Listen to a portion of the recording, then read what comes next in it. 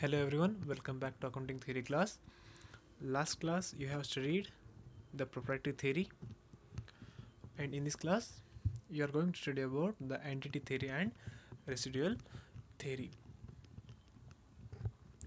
First one is the uh, second one is the entity theory. According to this theory, business entity is the center of interest and not the owners. Net income does not belong entirely to the owners, but it also belongs to the entity. So here you can see the uh, difference between the proprietary theory and entity theory.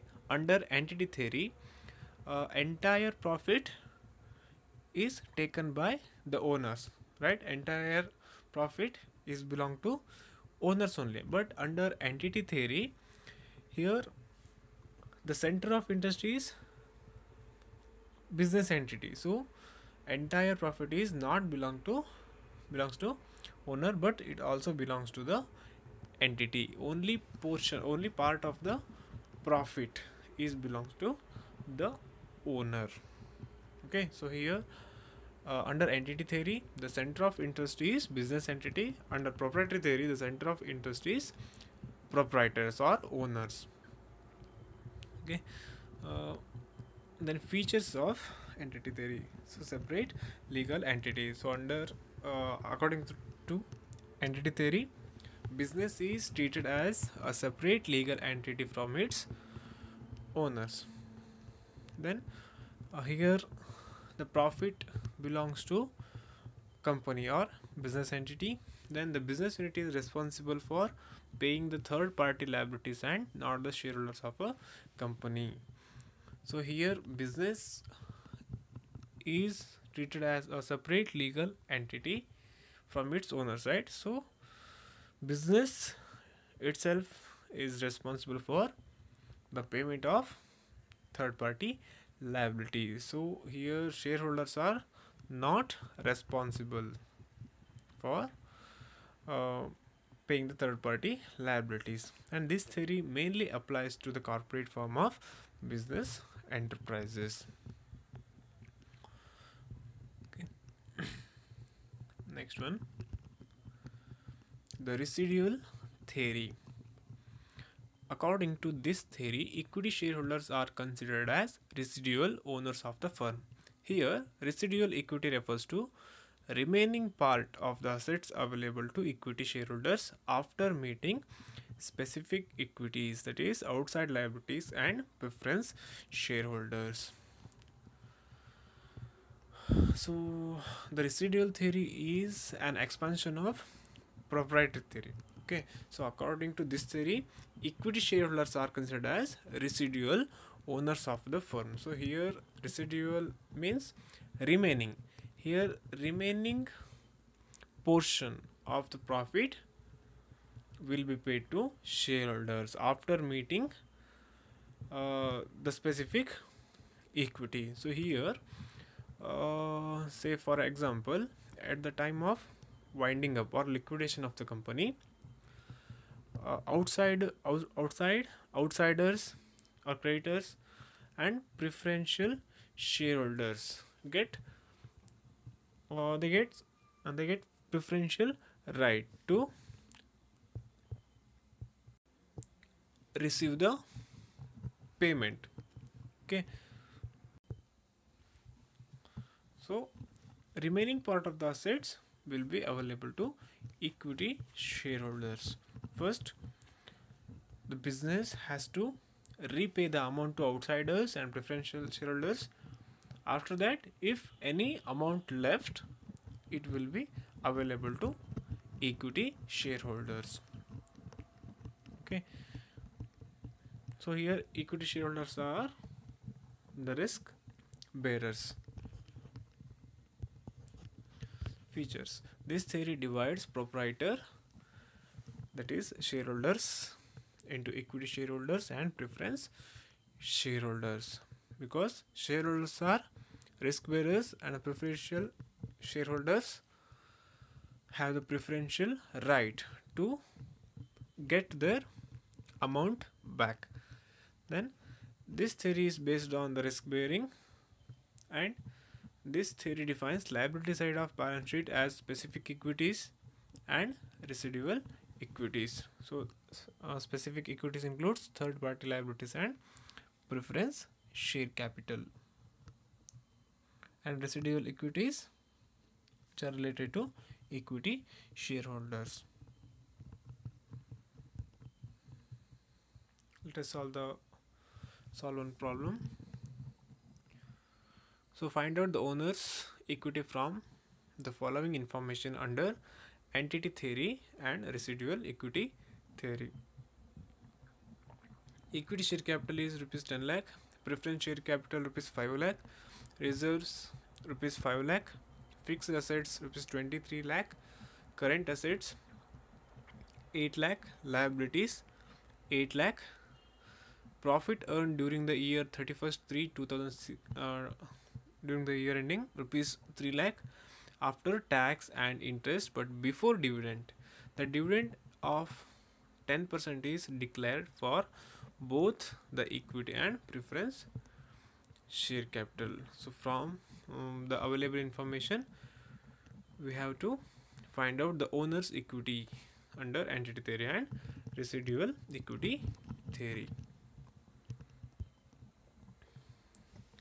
the calculation of owner's equity under entity theory. It follows the formula that is owner's equity is equal to total assets minus outsiders liabilities plus reserves plus surplus. So here total assets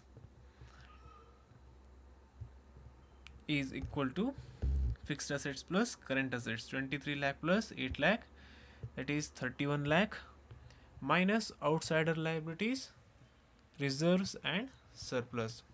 Outsiders liabilities is rupees 8 lakh then reserves rupees 5 lakh then surplus. How do you find out the surplus? So here last line profit earned during the year ending is rupees 3 lakh right? So here total profit is 3 lakh. Out of 3 lakh 10% will be uh, so 10% dividend will be paid to both equity and preference shareholders. So 3 lakh into 10% sorry? So here 10% dividend is declared on uh, both equity and preference share capital right? So here total share capital is equity share capital 10 lakh then preference share capital 5 lakh. So total capital is 15 lakh.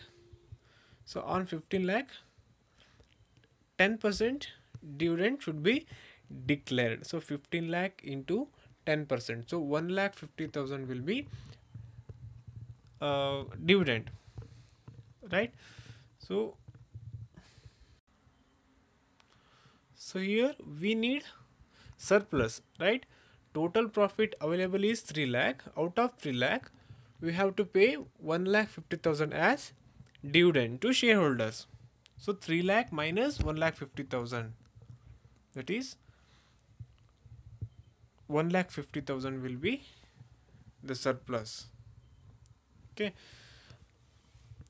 So here uh, total assets that is 23 lakh plus 8 lakh fixed asset plus current assets minus outsiders liabilities is 8 lakh then reserves is 5 lakh plus surplus so 3 lakh is profit out of 3 lakh 1 lakh 50,000 will be paid to shareholders as dividend right?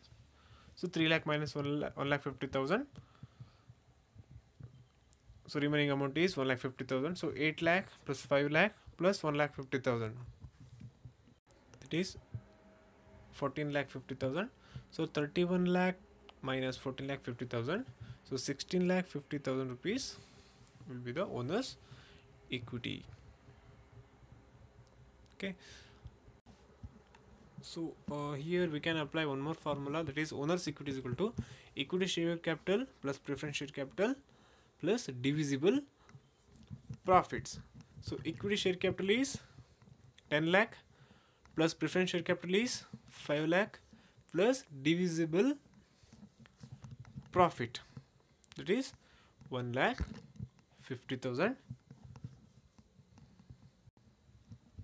so 1 lakh 50,000 which is declared as dividend right? Which is paid to the shareholders. So 10 lakh plus 5 lakh plus 1 lakh 50,000 so here also owner's equity is rupees 16 lakh 50,000